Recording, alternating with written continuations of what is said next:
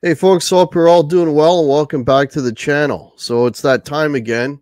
We're doing another ranking show. This time we're doing it on the Gillan band, not the Ian Gillan band, the Gillan band, the one after the Ian Gillan band, the one before Ian Gillan went and sang with uh, Black Sabbath. So it's in that little area there. So uh, to help me in that endeavor, uh, I've got Mr. Pete Pardo and Mr. Martin Popoff. How you gentlemen doing this evening? Doing okay. Looking forward to this one. Definitely. Yeah. So um, I'm gonna be uh, this this band is new for me, so I'm letting everybody know. Brand new. We I was uh, three months ago or four months ago, whenever we decided we were gonna do this. I'm like, all right, let me check these guys out, and uh, I'm glad I did. Discovered an amazing guitar player and some really good records that I was not aware of. So I want to thank these guys for suggesting this band. So uh, yeah, so there's they only have the six releases. So uh, let's go around the table. I'm going to ask the question, Pete. When did you first hear the Gillan band? So as we were talking before we started uh, recording today, uh, I have been aware of this band for eons because, of course, I'm an enormous Deep Purple fan. But you know, back in the late '70s, the early '80s, pretty much, uh, Gillan never played here. You barely ever saw these albums in the stores. They were all available on imports, and they made like no impact here in the states whatsoever. So yeah. they were just kind of like out of sight, out of mind. And I always knew he had this band, but I was listening to everything else, Whitesnake and Rainbow, and everything else around it. You know, Martin and I are gonna talk a little bit about that stuff tomorrow on uh, the Funhouse. But for whatever reason, this band just didn't really cross my radar because of availability of product, basically. So it hmm. wasn't until really the 90s where I started picking up these uh, albums on import CDs where I was just like, holy cow, it's like, where has this band been all my life? Because the guy's my favorite singer of all time, right? You would think that uh, this would appeal to a teenage Pete Pardo, and absolutely, these guys would have been one of my favorite bands at the time. So it's one of those instances of better late than never but as I was telling Hack before we went live, it's like I I think it's so cool to be able to discover a band like this at this stage in our lives and fall in love yeah. with it, even though it's so many years later. But it's still really cool to to find a fresh old band that yeah. new to you, right? So yeah. Yeah, I was uh, I was telling Pete actually when when you know when I was going through these records, I was sitting there listening to these guys, having a cigar, just getting absolutely blown away. And I messaged Pete, this stuff's amazing. you know, again, it's so cool to discover, you know, new old music, if you will, right? Yeah. yeah. What about yourself, Martin? Well, I discovered this band uh, kind of the coolest way you can discover these things, other than seeing them live. Um, it was the Sleeping on the Job 45, which I probably was, well, I don't know. I, I don't know. It might have been after Mr. Universe was out. For some reason, I just remember that as the first thing. It came with a little Gillan patch. It had a song on the um it had higher and higher on it as well, little picture sleeve 45. And then yeah, into the albums as new releases. I I somehow don't think I had the Japanese album first or Mr. Universe. I think I got a Canadian Glory Road first. So it would have been like 1980. I remember getting as a new release the you know the the import of Future Shock. I'm going to show all this stuff here. Pete's seen this stuff before, but uh, there's my fully signed uh, Gillan picture, oh, um, cool. which I got from Bill Barron. Sadly, our our buddy who's uh, who's uh, had a had a bad stroke and he's in a long term care home. But this I traded this off of him at one point. But that's really cool because they actually did come to Toronto and they played here and and oh, Bill yeah? saw them. Bill and, and, my buddy Steve, I think, probably was with them. Um, so yeah, they they you know a, a, rare occasion they came here when they were. But yeah, I've uh, I've been known to call this band my favorite band of all time. Uh, you know, oh, wow. when, when when I'm thinking of these short catalogs that are that are all just really good. You know, I've, I've said that about Max Webster uh, mm. uh, as well. But uh, Ian doesn't want me to write a book on them though. Ian Ian's like, uh, nah, those bad times. I don't really want to talk about that because you know I think he has bad memories about this whole thing. And uh, as as we've talked about, Bernie Torme is um, is no longer with us. I think uh, Mick Underwood is. I, I believe he has dementia. Um, Colin Towns has always refused to ever talk about this band. I have interviewed Mick and I've interviewed uh, John McCoy. John McCoy's kind of the last man standing of the main lineup. You know, Janick Gers isn't going to talk about the band too much, but it would be cool to interview him about it. But uh, but the problem with John is John keeps putting out all this Gillan stuff on kind of dodgy Angel Air, Cleopatra type releases, and I think that's uh, a bee in uh, Ian's bonnet as well. Um, so yeah, a lot of drama around this band. A lot of they wow. fought a lot. They didn't have a lot of money. It was just a crazy, crazy band. But I, I think this catalog's just really cool. But uh, there you go. Yeah, that might be why I jumped on the Black Sabbath train and didn't bother. Well, yeah, partly yes. Uh, yeah, they they were. Yeah, there there was just a lot of spending a lot of money, not money coming in, financial wow. irregularities, management problems, running that studio at the same time. Uh, you know, the, the, band thinking they're broke, they don't have enough money. Ian's going to them saying we don't have any money. Uh, so uh, yeah, lot lot of lot of stuff there. But if if I ever did a Gillan book, it would be a love letter to the band. It would be about the songs essentially. I, I, just dissect the catalog more than anything, but I have mm. done some writing on them. I've done some short documents on some of this stuff. But.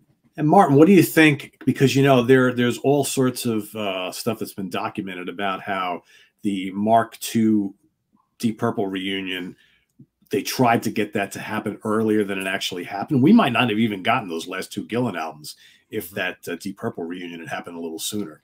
Yeah, yeah, that's true. Yeah, they that that had been simmering for quite a while, right? Yeah, yeah. That's uh, yeah. All right. Well, the, there's only six records in the whole catalog, so we'll just go around one at a time, and yeah, we'll just do it that way. So, um, yeah, Pete, if you want to start with your uh, number six.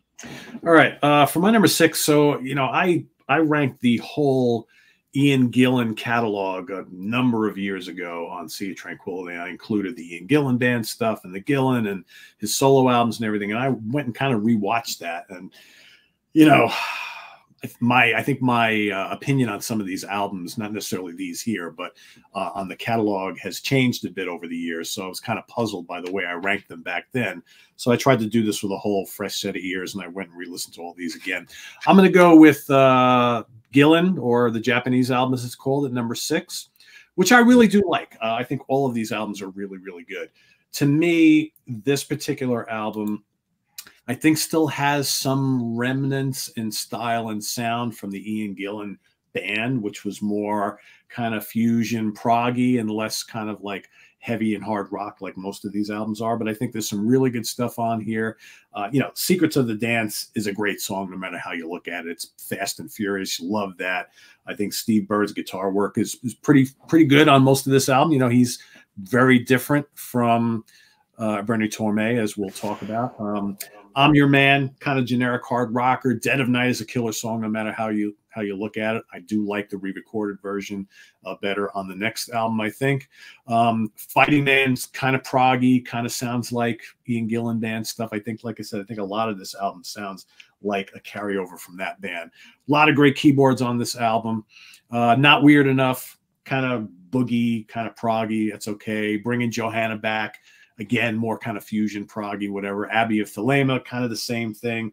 And uh, back of the game, though, is a pretty decent hard rocker. Overall, I like it. I think it's a must-have if you're kind of checking this catalog out. And what's what's really interesting to me is hearing the versions of songs on this album with this lineup, and then hearing yeah. them a year later with a new lineup featuring a different guitar player and Bernie Torme and how that kind of changes things up a little bit. But yeah, it's my number six, but I like it a lot. I mean, I would I would easily recommend this to anybody.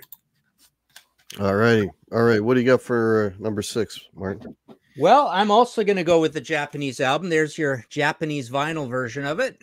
And there's, uh, I believe that's uh, Colin and Ian on the back. Ian with his, you know, beard and mustache there, that kind of cool look that he had is what the gatefold looks like of that. Very cool. Uh, actually reminds me a little bit of Rainbow Rising a little bit. Uh, anyways, 1978, pretty heavy album for 1978, right? Um, I really like this album a lot. Um, I think this version of Secrets of the Dance, uh, Secrets, Secrets of the Dance, um, Secret of the Dance is almost bet almost better than than the next version. But this version of Dead of Night is is not as good. It's it's a little more lumbering, but uh, yeah, love love the drumming on here. Uh, Liam he's got these kind of big um, you know, tumbling uh, bass drum tom tom fills. Like he plays kind of fusiony, as as Pete mentioned. And um, yeah, this has a few of the songs that are a little bit. It's got a few mellow ones like Abia Thelema, which picks up later, and and um, yeah, bringing Joanna back is is the one that definitely sounds like an Ian Gillan band song. Um, but yeah, I, I, like this lineup. I like uh, the, the, Liam with you know being kind of a fusion, kind of a fusion slash heavy metal guy, but he has that splash symbol that he throws in a lot, right? Um, so yeah, it's uh, it it's good. Um, the recording is a little more conservative and actually kind of yeah capable. It's it doesn't have the same eccentricity as the uh, the proper Gillan recording, but uh, yeah, there's a lot of action on this. A lot of great songs. Um, Message in a Bottle is amazing as well, and we're going to hear mm-hmm. that later. Fighting Man's kind of mellow. So yeah, uh, it's still a really really good album. You know, it'd be like a seven point five or an eight eight to me. Uh, there's there's actually a a CD version signed by Bernie and uh, and Ian. But again, this is uh, really uh, you know uh, very deluxe reissue of it but it is on Purple Pyramid, which is Cleopatra. So I'm I'm I'm pretty sure this is like John McCoy just giving this stuff to Brian and saying, "Hey, go ahead, run this stuff." And and Ian's probably very upset that even this the, these exist. Right? There's so many of these out there, so many of these, you know, Angel Air, Cleopatra type uh, versions of these albums. So, yeah, there yeah. you go. Number number six. All right. Well, my number six, I'm going to be a little different than you guys. My number six is Double Trouble. Wow. Um, now there was Double Trouble. There was a studio and there was a live. I'm only going to talk about the studio. Uh, the opening track on this, I'll rip your spine out, is a nice mid tempo but heavy opener. The keyboards on this by Colin Townsend. The Colin Towns, who played keyboard, I think, through all the records, is unfreaking believable. I'm not a usually a huge keyboard fan, but this guy is just he's just something else. Um, Restless, great follow up. The chorus is so hooky; it goes from heavy to poppy. I like the change up of it. You know, Men of War is okay. The light verse and the heavy chorus is okay. I don't like the solo. There's a musical interlude in there that yeah, it doesn't really work for me. Uh, there's a great riff in the song Sunbeam, but then it kind of falls flat for me. The solo's okay on that. Nightmare's is okay. Hadely Bop is okay. The rest is fine. I don't know. This this album for me, I, I just found it compared to the other ones, it just kind of lacked a little bit of energy. It almost sounds a little bit phoned in. Um, it just didn't have some of the creativity of some of the other records. Um, so that's kind of you know sort of why it ended up falling at six. By no means is it a bad record, but you know you're comparing you know good to great. So some had to be number six, and that was my number six. So there you All go. Right. All right, number five. Number five, I'm going to go with their last album, Magic. So uh, this is um, Janick Gers, his second album, of course. Now with Iron Maiden for many, Iron many Maiden. years. Mm-hmm. Um, I, I, think uh, overall pretty heavy album in spots. I, I think it does sound kind of like a band on their last gasp, however, uh, in spots. But there's some really good stuff. I mean, What's the Matter is a killer opener. I really like that a lot. Um, I think uh, Janick's got some cool riffs in that one. And Colin's keyboards are really, really nicely done. Um, sounds to me like like heavy Deep Purple kind of in spots. Uh, bluesy boost, bluesy. Try to say that fast three times, man. It's crazy. Uh, heavy bluesy romp. Dig that one quite a bit. Caught in the yeah. trap. I think is is one of the good anthems on this. I think it's got a really good chorus. I like it quite a bit. Uh, Long Gone, and eh, that doesn't do a lot for me. It's kind of generic. Uh, Driving Me Wild, that's pretty heavy and kind of raucous. I love Demon Driver. I think that's nice and heavy, but it's maybe a couple minutes too long. Yes. Right? yeah. I think you, you trim about two, yes. three minutes from that and you have Shop. a dynamite, dynamite track. Uh, Living a Lie, eh, that's okay. Uh, You're So Right, um, that's kind of got this commercial appeal. That's not a bad song. Nothing special. It's okay. And I think uh, Living for the City, their cover of the Stevie Wonder song, is really, really good. Um, yeah. That's a really good choice of a cover. Um, but overall, I think it's a, there's some really good songs on here a few that are kind of nothing special, but it's still a pretty solid record, I think, in their catalog. And but to me, it just sounds like a band that's probably on its last legs, but still pretty pretty solid though. All righty. What's your number five, Martin? I'm gonna go with Glory Road. Um, this was pretty close with the uh, the Japanese album uh, for me uh, because you know it's uh, I love Sleeping on the Job. I love Unchain Your Brain, the heavy ones. I love No Easy Way, which is commercial, but you know Nervous is really slow. If you believe me, so it's got a blues on it, time and again, same kind of thing. It's got a bluesy mellow tune. Um, on the Rocks is one of their epics, but um, yeah, I, I, like it quite a bit. Um, but it's not not my favorite of the epics. So yeah, I, I just feel um, there's there's enough material on this where I'm I'm feeling you know almost like two thirds of it or three fifths uh, is in the range of just not my favorite Gillan songs all in one place. But you know we're obviously into the the band firing on cylinders, the perfect lineup. Uh, mm-hmm. People people have always said um, I I love when people comment that uh, Ian's best vocals of his whole career were almost uh, during this time, and that always reminds me of the way I think like Shock Tactics is is possibly Bruce Dickinson's best album, right? So it's just this early rock and new wave of British heavy metal uh, era of the band. But uh, yeah, just a little too peaks and valleys for me, a little bit too much uh, on the mellow side and on on sometimes the the boring and, and slow side uh, on this. So yeah, pretty pretty close with the debut. That's my number five. I think I would kind of agree with you, Martin. I think Mr. Universe to Born Again might be his best vocal period of all. Yeah. Yeah. yeah. Definitely. And the rumor goes he blew out his voice on that tour. Never sang again. Because hmm. he, he was like every night after night screaming. Yeah. Hmm. Anyways, um, yeah, so my number five is Future Shock. Uh, title cuts, great opener. The riff is cool. I like the verse, and there's that killer guitar playing from Bernie Torme that's missing from Double Trouble. That is a that is a huge plus uh, for me. Uh, Bernie Torme uh, discovered this guy and listening to these records, and if you've never heard Bernie Torme and you're a guitar player, do yourself a favor. This guy's amazing. Um, another killer riff for a night right out of Phoenix. Love the pre-chorus and the chorus is cool. The lead break is cool. More whammy, please. Uh, he's all about the whammy. Uh, the keys on the tag out are great again, man. Colin Towns, the, the keyboards on these records is just phenomenal. Um, not a big fan of the ballad of uh, the Lusitania Express. Um, next two are okay. No Laughing in Heaven and uh, Sacre Bleu, French. Uh, I do love the cover of New Orleans. I do like that because it's a nice departure. A Bite the Bullet is a good rocker. For me, the standout track here is If I Sing Softly. That is, I mean, I wrote here, it's haunting and beautiful. And I love it when it gets to that B section. It's just epic. Those changes are just absolutely awesome. Awesome. Um, don't want the truth is okay. Kind of lays a little flat for me. For your dreams sounds like a little bit of filler.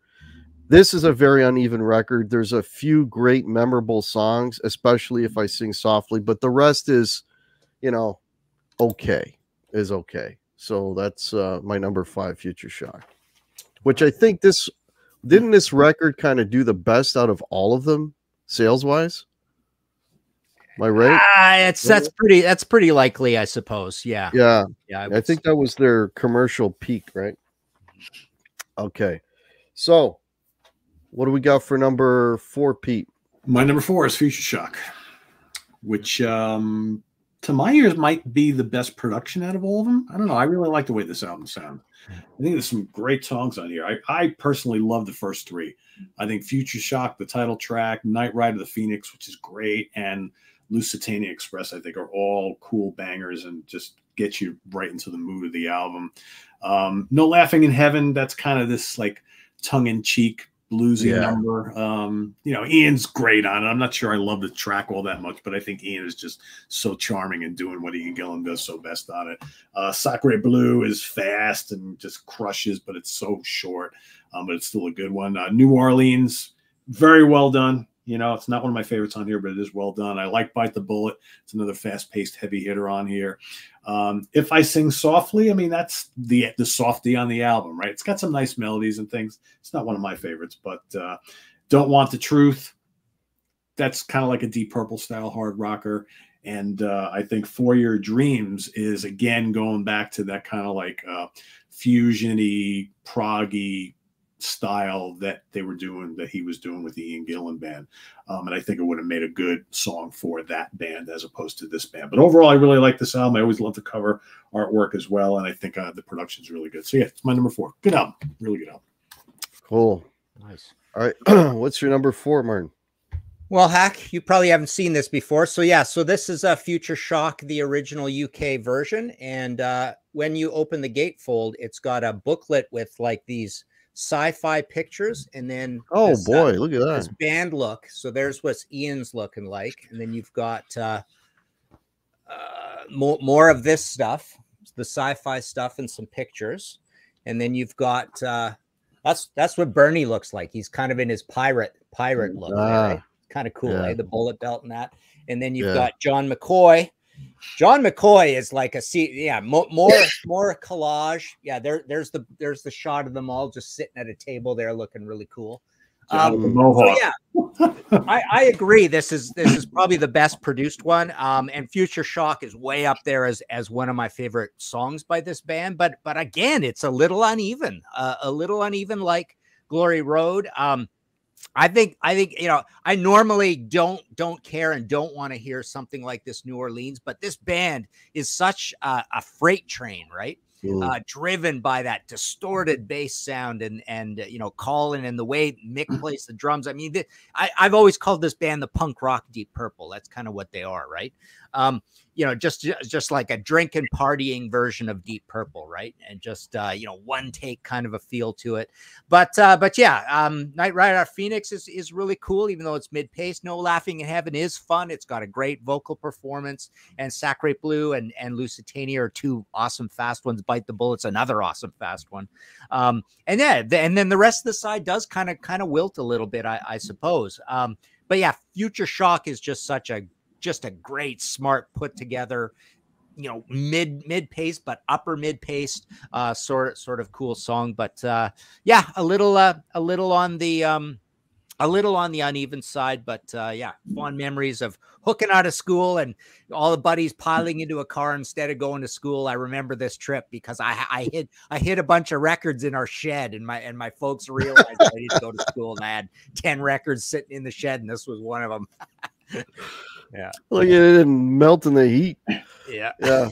And I do want to mention too, for folks watching who maybe are new to this catalog, if you can, if they're if these are still available, the uh, Edsel CD reissues and remasters of these are terrific and have tons of bonus tracks. So, like on the Future Shock, you can see you get all sorts of extra stuff. You get Trouble, Your Sister's on My List, Mutually Assured Destruction, The Maelstrom, Take a Hold of Yourself, One for the Road, Lucille, and Bad News. So you get like eight additional bonus tracks, and like on Magic there's also like an additional eight bonus tracks. So these are really good. And plus, you get the cool, like little spine things where it's a picture of Ian and you got to line them all up so you get the full full photograph of them. But yeah, Oh, that's cool. Yeah, that yeah. probably is like like official. Like Ian probably got involved and did that. I, I hope. I hope they are. I don't. I don't quite know the story, but I do know the story that why we have all these bonus tracks is because Ian was involved financially with the studio, so they kind of had their own studio, right? yeah. Ian, Ian, you, you get him talking, and he'll lament about the various business projects he got into that went belly up, sort of thing. And this was one thing I think that was was one of these money bleeding things. But that's why they have all these great bonus tracks because they could just go of in the them. studio whenever they want. Yeah. Yep, yep. Yeah. All righty. So uh my number four is Magic. What's the matter is a great up tempo opener. Bluesy Blue Sea. I like the slow epic groove of this. It, I get a bit of a Whitesnake vibe from this. The breakdown here is really cool. Some decent guitar work from Janick on this.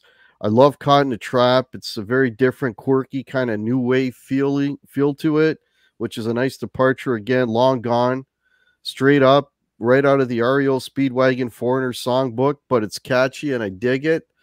Uh, not a fan of Driving Me Wild. Uh, it just sounds thrown together to me. There's like just a lot of different parts. It just sounds like a cobbled together song of different bits. Some bits are cool, some bits not so cool.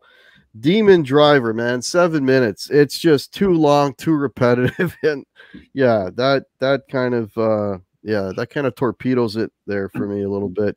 Uh, Living a Lie, another from the Foreigner songbook type of song, but uh, I dig it. You're so right, cool, uh, short, up tempo rocker. I love the remake of the Stevie Wonder "Living for the City." I mean, they do it in a grindy kind of rock way. It, it's amazing. It's really, really good. Uh, you know what? What's really missing from this record is Bernie Tor- Torme. That's what's missing. That would have made this brought it up a notch for sure, man.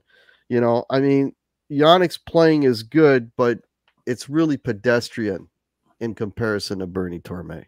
There was a uh, a wildness and an unpredictable nature yeah. playing. I think that you know Ron, Janick is fine on this stuff. He really is. But yeah, Bernie was just a really unique, different kind of go for the throat talent, and even like on his later stuff, like on all his solo albums and the, the band he had was it GMT, right? Uh, Mm, that he Yeah. did with uh, John McCoy uh, later on. I mean, it, there's just something about his playing that was just totally, totally different. And Well, a really unique guy. I mean, I, I talked to him a couple times, and uh, you know, it's really interesting. It's like you know, especially when you started to to listen to his voc- vocals, and then you would actually talk to him. He had like a really bad like stutter. Yep. And it's like when you talk to him, it's it's so apparent. But then when he sings, you don't hear it at all, obviously. So uh, you know, he was able to overcome that and uh, you know, really do some cool things with his voice later on. But yeah, what a guitar player! What a guitar player! Yeah, somebody mentioned like this was like a punk version of Purple. I think Martin, you might have mentioned that. He plays like a, you know, really aggressive, like a, just bangs the shit out of that strat, man, and like just heavy whammy, just like squeezing every sound he can get out of it. It, you know, but it's musical and it works. You know, it's yeah, uh, That Strat always sounds like it's ready to fall apart, right? yeah. It's like yeah, but the of the, the the track, the guitar's in pieces, you know. But Yeah. I mean, it's just it's it's amazing. It's amazing. So yeah. All right, we're down to number three. What do you got, Pete? All right, my number three, I'm going to go with uh, Double Trouble. Half live, half studio, debut of Janick Gers on guitar. Uh, I'll Rip Your Spine Out is terrific. Heavy. It's kind of majestic sounding too, though. I really like it a lot. Restless is a good hard rocker. I love of War. Um, man, just Ian just screaming up a storm on that. I think, you know, his voice is just in peak, peak form by the time of this album. Uh, I love the riff on Sunbeam. Uh, Nightmare, I like. I like the guitars. I like the keyboards on that quite a bit. Uh, Hadely Bop Bop, that's kind of weird boogie metal. I don't know, whatever. It's it's kind of ridiculous, but it's kind of fun. Uh, Life Goes On is really heavy. I like that quite a bit, and I think uh, the 10 minute Born to Kill is a great kind of slow builder of a track. Um, it's kind of it's almost like their Love to Love by UFO. Really like it. It's got this big furious kind of crescendo around the midway point, then it ends all majestic. I really like it a lot. Um, and uh, the live stuff is great on here too. I mean, there's a lot of really cool stuff on here. I think Mutually Assured Destruction is terrific on the live set. So, and you got New Orleans on here, you know, Trouble, No Easy Way, a lot of anthems on here. It's a great double album, right? It's it, you almost wish that kind of they would have just done a full studio album and then release a full live album too instead of combining them, right? But I think you get kind of the best of both worlds. So I really dig it a lot. Good stuff. Double trouble. All right, what do you got for number three, Martin? Number three, I'm going with uh, Magic. There's my framed up Magic with some some cool uh, Ian Gillan band and Gillan um, ticket stubs that I bought off a buddy northwest of the city here in Brampton. That one's signed by Ian and Janick. And uh, yeah, I just um, I really like that this is a pretty heavy album. Uh, Demon Driver, I, I have the same same problems with that one. To me, that one sounds like like he's forcing himself to write a heavy metal tune. It's a little bit like uh, my my slight complaints about Aerosmith, Kings and Queens, and Zeppelin, Achilles' Last Stand. I mean, to me, this is a song that he could have brought into Black Sabbath and stuck on Born Again in a way, right? Um, but so much of the rest of it, man. Um, you know, bluesy bluesy is so cool. It got heavy and dark, and it's got that hint of the blues. Like Caught in a Trap is cool too. Um, Long Gone. I mean, I, I like I like the commercial kind of things on here. You're so yeah. right is is such an interesting one where it's got that that really poppy sort of chorus, and then and then it slams into the verse. That's you know, and just just again, just moving like a freight train. Um, yeah. And this one, you know, all of these basically from Mr. Universe to the end have this singular sort of crazy drunken production values that I just love. And Colin Towns is so unpredictable, and you hear him on the Stevie Wonder one as well. But uh, yeah, just uh, just a lot of good value on here. It reminds me a lot of Double Trouble. It's got that thing, you know. And and you guys talk about the guitarist, I've never really thought about what I really think of Janick on here, but but if I think hard about it with these ones, you know, I've got Double Trouble higher coming up. I I think um I think possibly the actual guitar riffs are better uh, with Janick. Um, and uh, yeah, a little more complicated, a little more thoughtful. Um, it's a little less relying on the rhythm section and the keyboardist. Um, it's a little more, you know, centered around guitar, I think, uh, with him. But yeah, I, I think it, yeah, ev- everything on here, it's just it it just has that charming. What are they going to do? Mixing commercial with the punk rock, with the metal, uh, all all kind of together like double trouble. So I was, I was pretty pleased with this last one. Although I think out there in the in the wild, um, uh, you know, some of that bad lawn, you know, it, the dirty laundry was coming out in the band. I, it just seemed a little bit like reminds me, Pete, a little bit of uh, the whole Saints and Sinners situation with Whitesnake, right? Where where it feels like you know we're barely hanging on. Maybe we don't like each other that much anymore. And I think the fans kind of picked up that that they're they're kind of like ah oh, we've heard all these tricks before. It's a little bit of that to this album but i i love these tricks so i don't mind hearing them them again. So i've, I've got it uh, in this position. I guess this is number three right? Yeah. Yeah it's number three. Yeah yeah so my number three is a debut. Yeah um you know this record it's, it's a it's a mixed bag right? So you guys probably know the history better but apparently there was there's versions of the songs on here that appear on Mr. Universe. There's versions that um, are wait, there's a there's and then there's another version of Mr. Universe, and there's versions of that on here, and then there's songs that are only on here.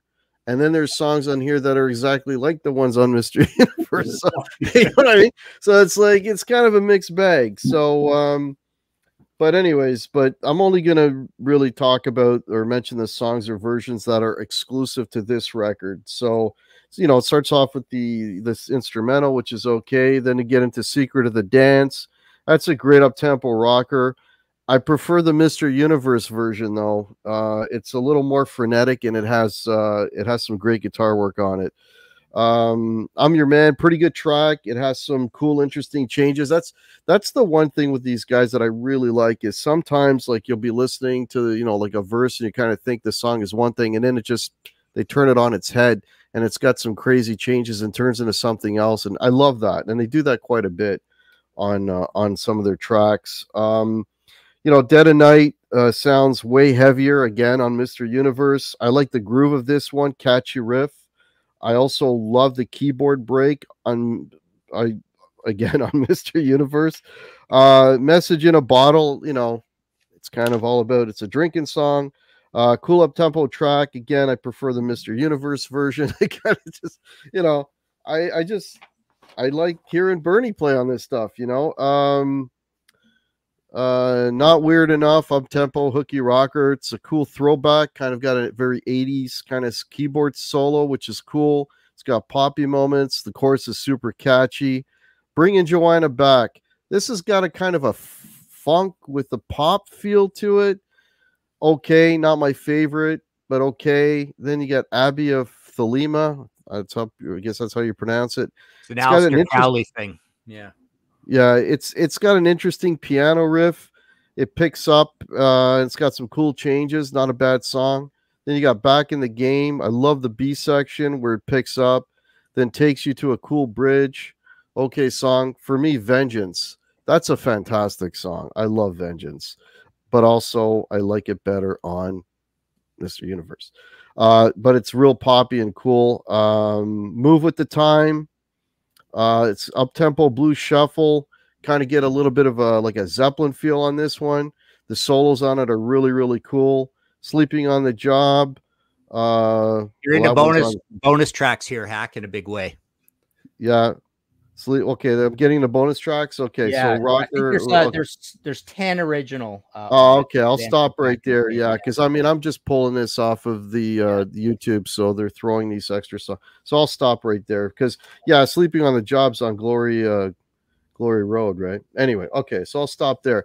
But um, yeah, you know the the songs that they do here that appear on Mr. Universe, I, like I said, it's just it's that that Bernie ingredient. And when you listen to the songs, because what I did was I actually would listen and then I would do them back to back, right? And I, I like, first of all, I, I like that it, the Mr. Universe. It's a heavier production. It, it just sounds better, right? It's just more detail in the sound.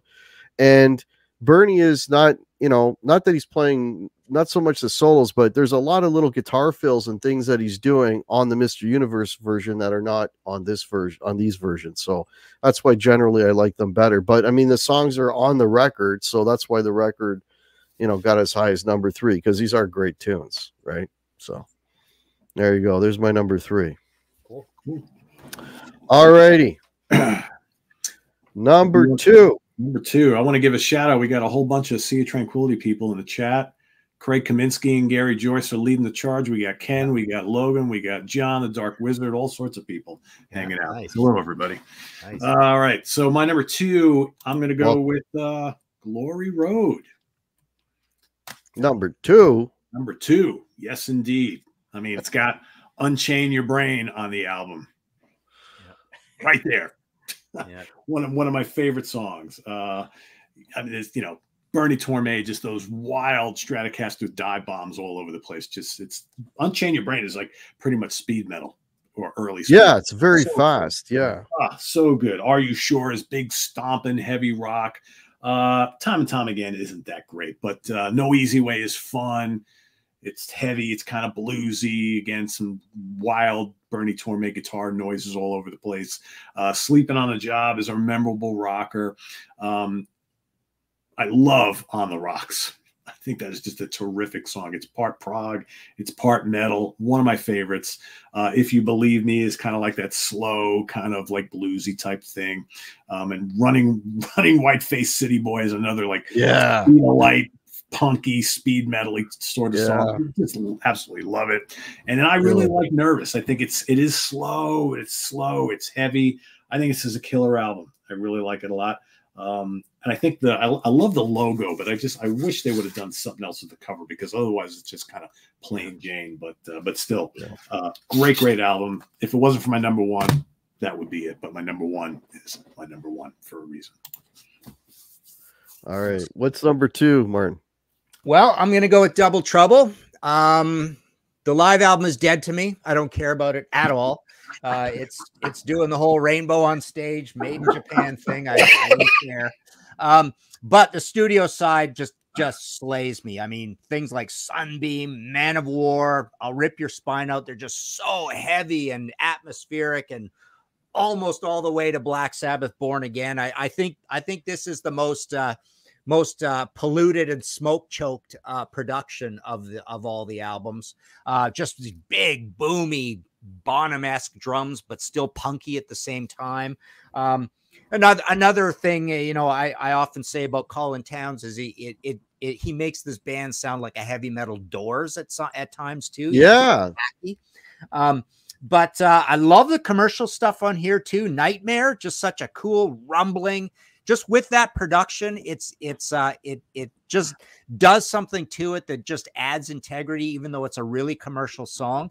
But it's got you know that keyboard lick and and you know Ian singing uh you know pretty melodically on it. Born to Kill is a great uh you know w- one of their absolute uh, cool epics. But uh, and in, and in the realm of Sunbeam, Men of War, and I'll rip your spine out. Is Life Goes On. I mean, that's another just crushing, heavy kind of Sabbathy. So there's a lot of Sabbath to this, I guess, as well. And Hadely Bop Bop, besides the title and the way it kind of rises, it's still a pretty heavy, frantic tune. It's it's pretty it's pretty rocking. Um, so yeah, I, I think this uh, this the studio side on here is just a barrel of laughs, a barrel of monkeys. Uh, there you go, double trouble. All righty. Well, my number two Mr. Universe. And overall, this is a really, really good record. You know, it starts off second sight, you get that spooky intro that kind of leads into the record. Then you've got the hyper speed, speed metal, secret of the dance, great rocker. The keyboard solo is amazing. Yeah. She tears me down. Awesome. So hooky. And the piano work, man. Like the piano work, this Colin Towns guy, like the Ray Manzarek of this band, yes. Uh, just one of the best songs on here. Roller, solid up tempo rocker with some great riffs, a really cool guitar solo and keyboard solo on that as well. Title cuts got some nice melody and changes. The keyboard riff is cool.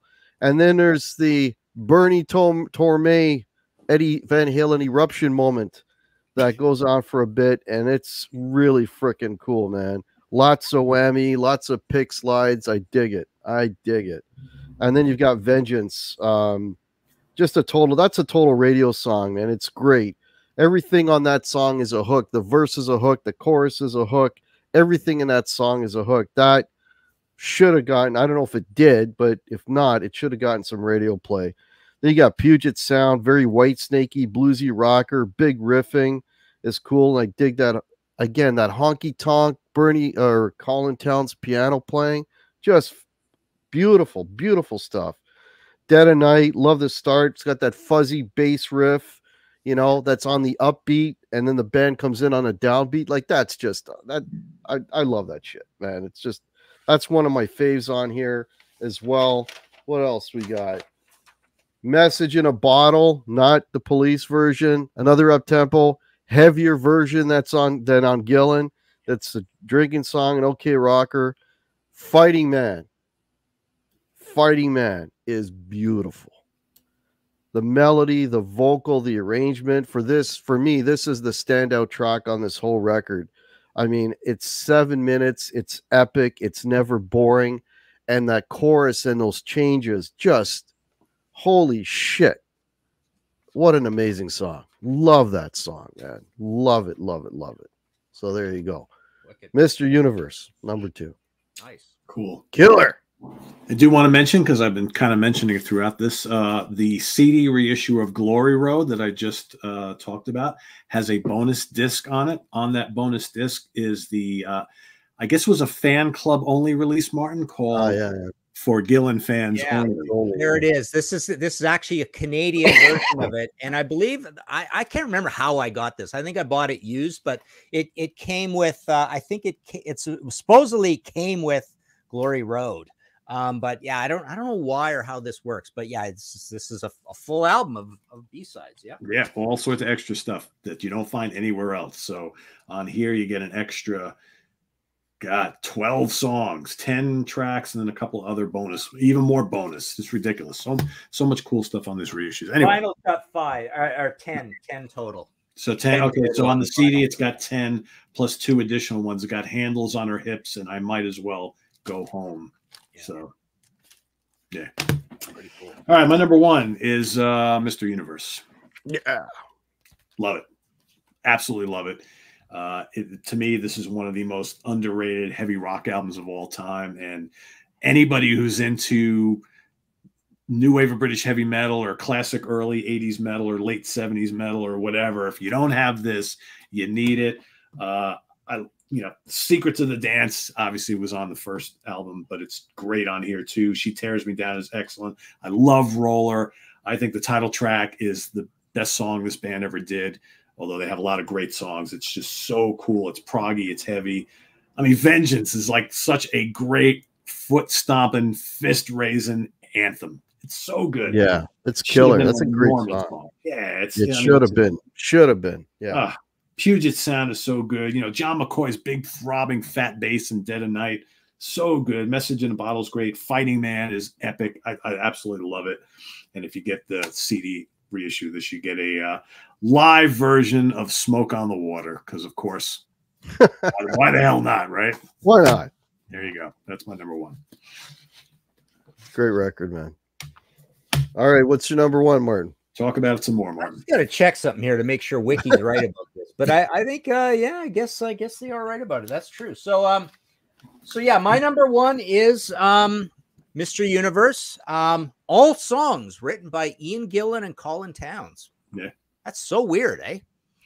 All songs written by the. That I don't know if that that sounds sounds almost suspicious. Like how how could Colin Towns be writing all these songs? Ah, right? yeah, who all these rock and heavy guitar songs, right? But um, yeah, I think I think the production is just is just crazy insane on this, and it's it's similar, like I say, to to the other ones, uh, except the first one, I suppose. But uh, yeah, all that great Colin Town stuff in in Second Sight. I mean, who you know, this guy can make make a, an instrumental like that that's keyboard based sounds super interesting, and you know, Yeah. secret secret of the dance is coming, and that's just just kicking kicking butt there. Uh, this roller is is a thousand times better than April Wine's roller. This is just such a cool rock and marauding new wave of British heavy metal song. Uh, yeah, Mr. Universe, my favorite song they've ever done. Uh, absolutely epic. What I it's got some of my m- favorite magical music moments of all time, and that's based around um, Mick Underwood's. Uh,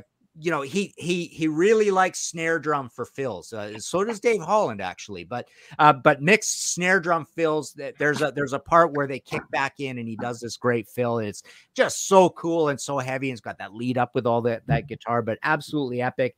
Vengeance is a lot of fun. I don't think it really fits on the album, but I, I really like it. I'm glad it's here. I also feel Puget Sound Puget Sound doesn't fit on the album that well. Um, we always love this growing up in BC because it's cool that they write a song about you know the, the bay around Seattle, like close by. It's like this, this is weird, right? Uh, but we always thought that was cool. Yeah, Dead of Night with that that you know crazy stonking bass and then coming in on the offbeat, which flips the song around, kind of thing, as you described there, hack. And yeah, Message in a Bottle and Fighting Man, absolute classic, just wall to wall, one of the great metal albums of all time. Uh, love it to death. Uh, Mr. Universe, number one. All right. Well, I'm the odd man out. But man, you got a good one. There you go. It's Glory Road, dude. It's Glory Road. Um, you know, un, it starts with Unchain Your Brain, and that's an old like that song for me. It's it's okay, but are you sure the second track is just a cool heavy groove, man? The riff on that is amazing. The changes, the B section, so freaking cool. Time and again starts off kind of like a it sounds like a cheesy excuse me starts off like a kind of a cheesy 80s song with 80s keys but then it morphs into all these different changes it's done so well and and going from one part to another it's just seamless like that's one of those tracks where you're listening to it okay it's one of these is it? And then then they hit you with this then they hit you with that. And it's just the juxtaposition of those parts one after the other just amazing. It like i love being surprised and in a good way and that that does it. No easy way epic guitar opening all hail the whammy you know this one has a new wave feel to it. Great catchy chorus man you know. They got sleeping on a job. That riff is monster. So cool. The pre-chorus is cool. The version again better version on this um because i did the extended ones. Anyway um on the rocks you got that long keyboard intro. Then it just rocks. The bridge here is awesome. The keyboard part is big and majestic just great.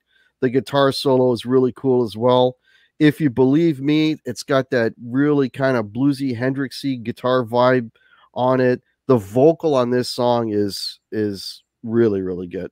I love the blues when they when bands slow down and they do bluesy stuff i'm all in for that stuff.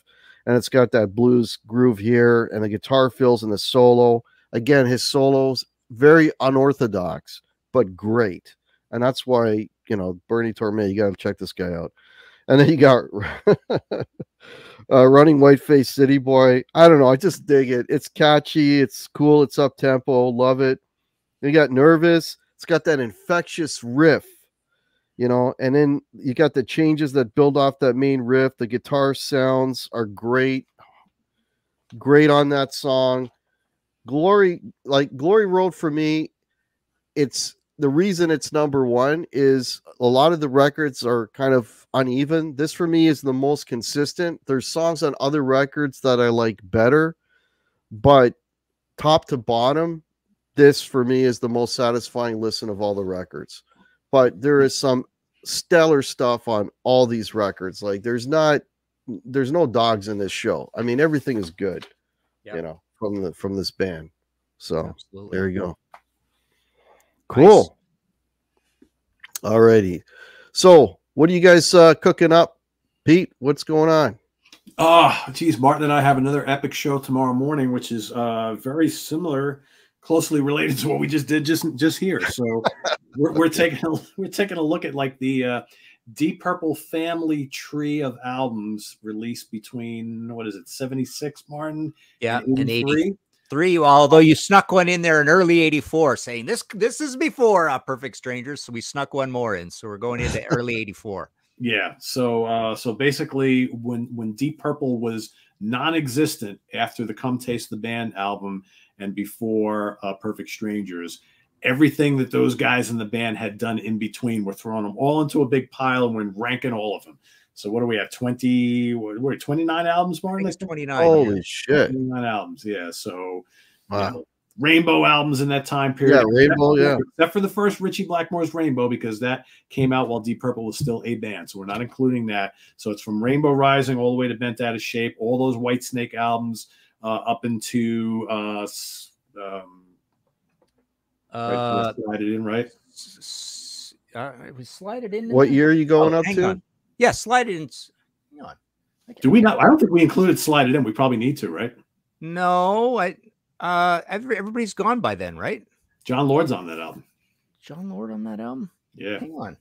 Well, I'll have to look at that. Yeah, let's double check that because that okay. may throw a wrinkle into my ranking. Anyway, the Gillan albums and uh, Ian Paice playing on Gary Moore and the Pace Ashton Lord and a couple Jon. Oh Lord yeah, yeah. got the whole yeah, it's a whole whole bunch of stuff and uh, there's a lot in there. Yeah, yeah. So that's that's tomorrow morning. Should be loads of fun. So yeah, yeah. And cool. otherwise, uh, yeah, the normal stuff. We got uh, Jamie Laszlo is doing the uh, the review crew on uh, Saturday, and then I'll be ranking the albums of uh, Voyager, which is really cool Australian progressive metal band on Sunday. So that's kind of what's coming up. I got it backwards. Get this record. Oh yeah, of course, yes. New Judas Priest. Incredible. Yep, good stuff. What about yourself, Martin? What's what's coming up? What's going on? Well, the the audio podcast. I think the next episode of History in Five Songs with Martin Popoff is going to be about occupation songs, songs written about uh, the lead singers playing a character in a job. Uh, you know, either a serial killer, uh, which is, I, I guess, a job. So it doesn't pay very well, but there's going to no. be some serial killer uh, songs. Uh, but you know, paperback writer and UFO the writer, that kind of thing, right? Like, uh, right, right. Guys in roles, playing a character kind of songs. I haven't figured out exactly yet, but that's coming up. Um, we did our uh, our weekly album cover show on the Contrarians last night about album covers with people wearing a lot of makeup on them. Um, the books is all at martinpopoff.com. The latest ones there were the Thin Lizzy panel book, the Robert Plant panel book, uh, the two Blue Cult related Imaginos books. Uh, that's now a pair, and still got the big heavy ones, you know, the, the Bowie and the uh, Dark Side of the Moon and the Who and all that kind of stuff. And that's all at uh, martinpopoff.com. Cool. So I've got well, most of the people in here are probably some Sea Tranquility people anyway, but I have a link to uh, Pete's channel below. I also have a link to the Contrarians and uh, also Martin's website if you like to order some books. Um, so I did not do a recommend an album to review episode today. I usually do them every Thursday. I did not want do one today because I had to get ready for this. I will be doing one next Thursday. Uh, I got my album picked out, and I think I may have turned Pete onto that band as well. So that'll be coming up next week. Uh, we'll be back next month uh, with another band to review. I want to thank everybody for watching. Uh, appreciate it so much. You guys all rock, and uh, guys, hang on for a bit, and uh, we'll have a great rest of your week, and we'll see you next time. Cheers.